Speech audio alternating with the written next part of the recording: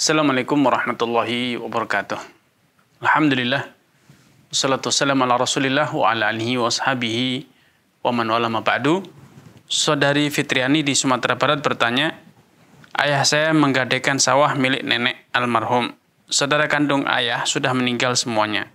Setelah itu, ayah membeli sawah milik kakak ibu dengan uang hasil menggadaikan sawah nenek uang tua uh, orang tua memberi saya hasil panen berasnya. Bagaimana hukumnya? Saya memakan hasil panen beras tersebut.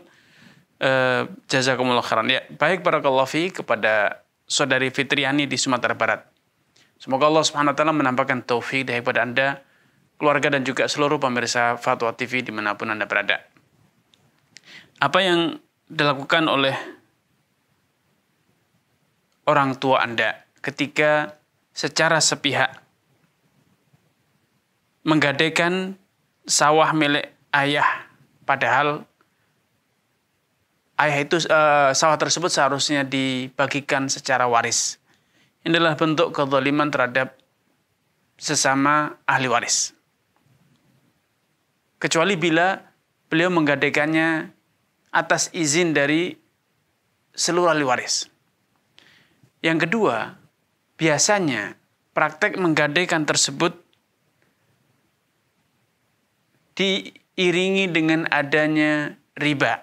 Alias ketika beliau menggadaikan sawah untuk mendapatkan dana dan dana itu kemudian dibelikan e, sawah ya atau diberikan yang lain kemudian dari hasil membeli tersebut beliau menafkahi anak istrinya maka secara prinsip dosa atas e, menggadaikan barang tanpa izin dari seluruh ahli waris kemudian berhutang dengan riba itu ditanggung secara sepihak oleh eh, ayah Anda.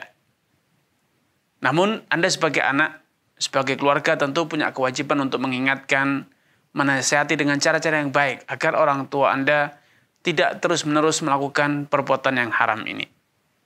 Akan tetapi, apa yang beliau berikan kepada Anda sebagai anak itu halal untuk Anda dapatkan karena Anda mendapatkannya dengan cara yang legal, yaitu diberi nafkah, diberi hadiah, atau yang sejenis. Eh, karena keharaman barang yang dia beli dengan harta yang tidak halal tadi, itu keharamannya karena cara mendapatkan yang tidak benar. Sehingga keharamannya hanya berlaku pada beliau saja. Tidak melebar kepada orang lain keharamannya tidak berlaku bagi semua orang, tetapi hanya bagi beliau saja. Beda dengan keharaman barang yang e, memang zatnya secara fisiknya haram seperti babi, bangkai dan yang sejenis haram berlaku atas semua orang.